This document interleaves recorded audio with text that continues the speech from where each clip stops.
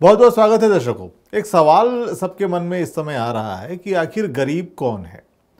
छः हज़ार रुपये कमाने वाला या फिर साठ हज़ार कमाने वाला? आप किसको कहेंगे?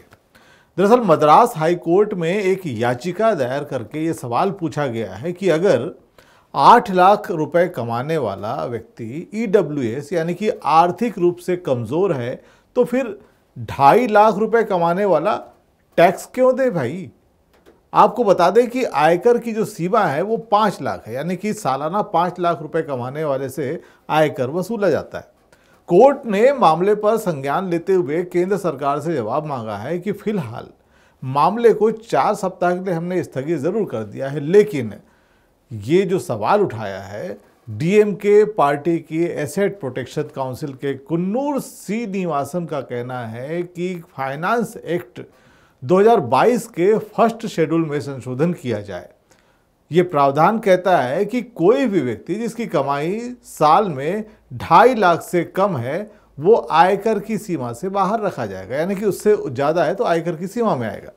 याचिका करने वाले ने हाल के सुप्रीम कोर्ट के आदेश को आधार बनाया है और जनहित अभियान बनाम भारत सरकार में सुप्रीम कोर्ट ने ईडब्ल्यू श्रेणी के लोगों के लिए 10 प्रतिशत आरक्षण की व्यवस्था को जिसमें सही ठहराया है।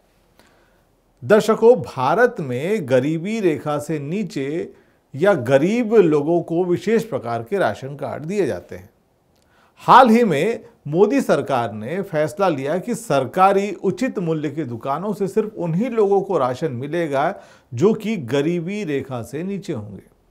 आयुष्मान भारत या तमाम योजनाओं का लाभ भी गरीबी रेखा के नीचे वालों को ही मिलेगा। मौजूदा समय की अगर बात करें तो किसी व्यक्ति की प्रतिदिन की आय अगर एक रुपए या उससे नीचे है तो वो व्यक्ति गरीबी रेखा में आएगा। बता दें कि ये मानक 2011 की कीमतों और महँगाई को ध्यान में रखते हुए निर्धारित किए गए थे। विश्व बैंक समय समय पर महँगाई और जीवन यापन के खर्च को ध्यान में रखकर मानकों में बदलाव करता रहता है। अब मोदी सरकार ने दो प्रकार के लोगों को गरीब मानने से इनकार कर दिया है। एक तो वो जो शहर में रहकर अट्ठाईस रुपये पैंसठ पैसे प्रतिदिन और गाँव में रहकर बाईस रुपये बयालीस पैसे प्रतिदिन खर्च कर रहा है। ऐसे लोगों को गरीब नहीं कहा जा सकता। नए फार्मूले के अनुसार शहर में रहने वाला कोई व्यक्ति अगर महीने में आठ सौ उनसठ रुपये साठ पैसे और ग्रामीण क्षेत्रों में रहने वाला छः सौ बहत्तर रुपये अस्सी पैसे से अधिक अगर वो खर्चा कर रहा है प्रतिदिन तो वो व्यक्ति, यानी प्रतिमा तो वो व्यक्ति गरीब नहीं है। अब इस आधार पर गरीबों की संख्या एकदम से कम हो गई। और इंडिया में 15 साल में इकतालीस दशमलव पाँच करोड़ लोग गरीबी रेखा से बाहर निकल गए।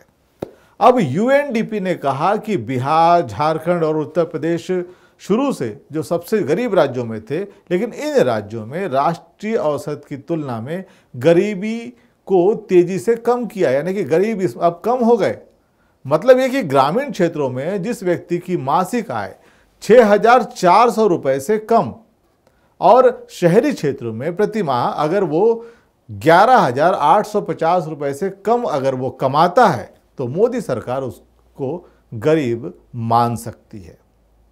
और उसी व्यक्ति को सस्ता राशन और कुछ सरकारी योजनाओं में छूट मिलेगी।